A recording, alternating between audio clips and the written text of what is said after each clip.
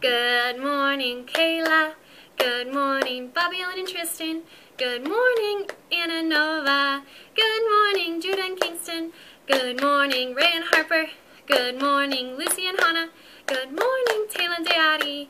Good morning, Oscar Nagi. Good morning, Roscoe and Kai. Good morning, Charlie and Victor. Good morning, Camille and Lakin. Good morning, Ren and Max. Good morning, Julia and Joaquin. Good morning, Dayati. Good morning, Miss Morgan. Good morning, everyone.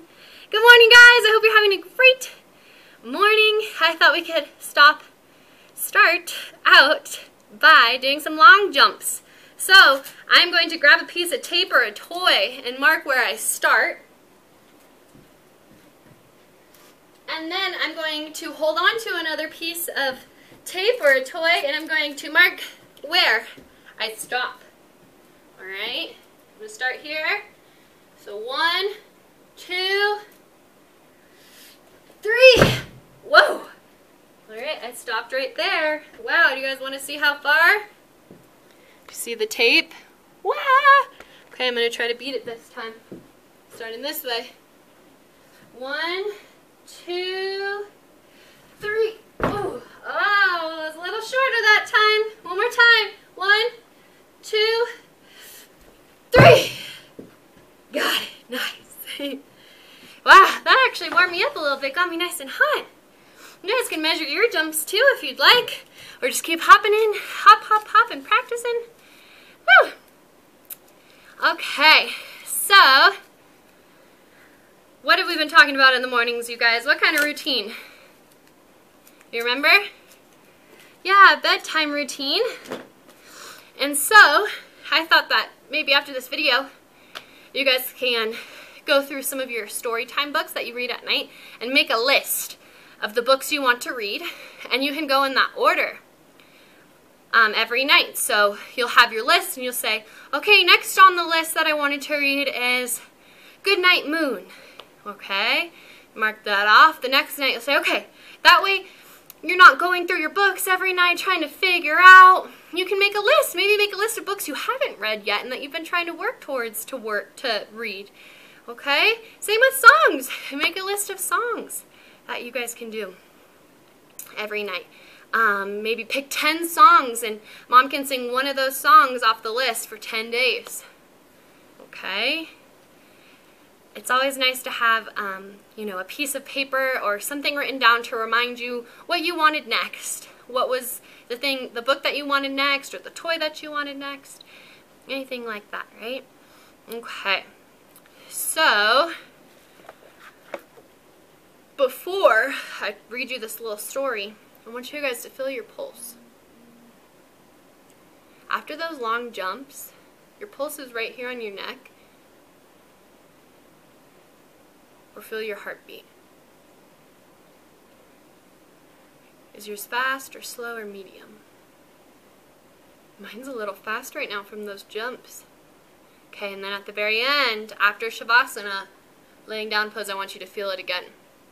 Okay? Because after you rest your body, your pulse should slow down a little bit. When you're working out and you're going really fast, your heart beats fast, your pulse beats fast because you've got lots going on, lots of energy going on. When you lay down, it slows down and relaxes. So we'll feel our pulse again um, after Shavasana to see if we've calmed down our bodies, our pulse, heartbeat relaxed a little bit. Okay. Uh-oh, where did my sticky note go? Well, I wanted to read you the next part of my book.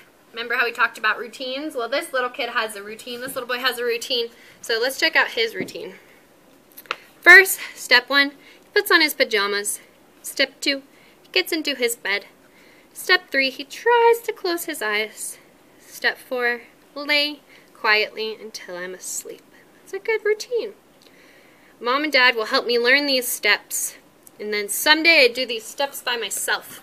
Just like now I do these steps by myself, or maybe when you get a little bit older, right? Okay, let's lay down.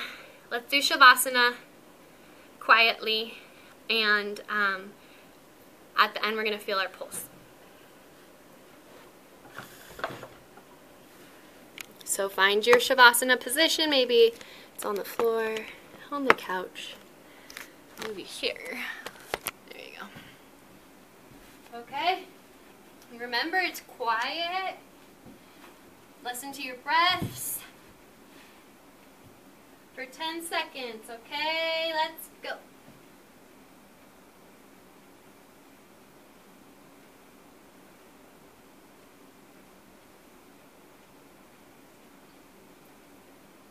Awesome. Now I want you to feel your guys' pulse or your heartbeat. Wow, mine is super slow right now. See how your body's resting while you're laying down? Your body's resting, your heart's slowing down, your pulse is slowing down, and your body's telling yourself, oh, it's time to rest. It's time for my body to get some sleep or some rest or just a chance to take a deep breath so that I can grow. So when you're exercising outside today and you're going running around, stop a second and feel your pulse or your heartbeat. If you can't find it, have your parents help you find it and see how it is after you exercise and how it is after you rest. Okay? All right, guys, it's time to be excused.